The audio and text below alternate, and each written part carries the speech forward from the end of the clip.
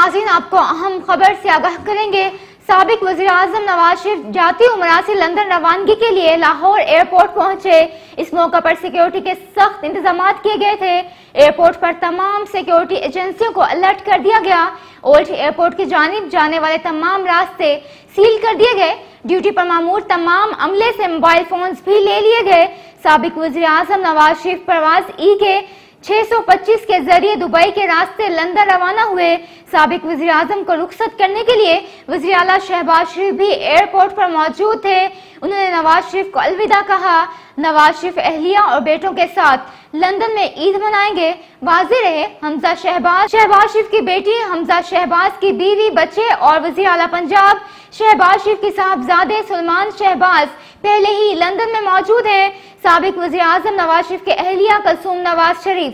جو علاج کے لیے لندن گئی ہے ان کے گلے میں کینسر کی تشخیص کی گئی ہے، جس کا علاج کیا جا رہا ہے۔